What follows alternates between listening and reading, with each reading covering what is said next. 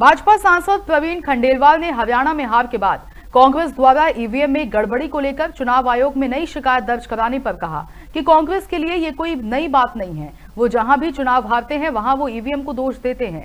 जम्मू कश्मीर में ईवीएम के ज़रिए चुनाव हुए थे और वहाँ जेकेएनसी कांग्रेस गठबंधन सरकार बना रहा है। इसलिए उन्होंने वहाँ ईवीएम को दोष नहीं दिया। लेकिन हरियाणा में वो इसलिए हार गए क्योंकि राज्य के लोगों ने कांग्रेस को पूरी तरह से नकार दिया।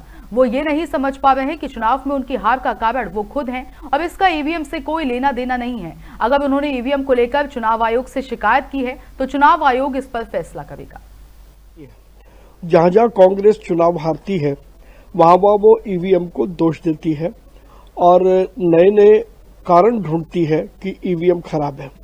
जम्मू कश्मीर में चुनाव हुए इन्हीं ईवीएम के द्वारा, क्योंकि वहाँ पर नेशनल कॉन्फ्रेंस और कांग्रेस की सरकार बन रही है तो वहाँ उन्होंने ईवीएम को दोष नहीं दिया, लेकिन हरियाणा में चुनाव हार गया क्योंकि हरियाणा की जनता ने एक सिरे से कांग्रेस को नकार दिया।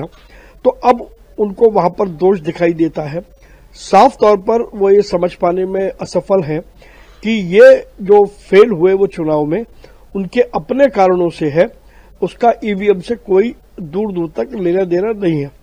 और अगर उन्होंने ईवीएम की शिकायत चुनाव आयोग ने की है तो चुनाव आयोग इसका निर्णय करेगा। लेकिन बार बार कांग्रेस या कोई भी दल जब चुनाव हारता है तो ईवीएम को दोष देता है। लेकिन जब वो चुनाव जीतते हैं, तब ईवीएम उनको सही दिखाई देती है। ये साफ़ दिखाई देता है कि उनके चीज़ों को देखने के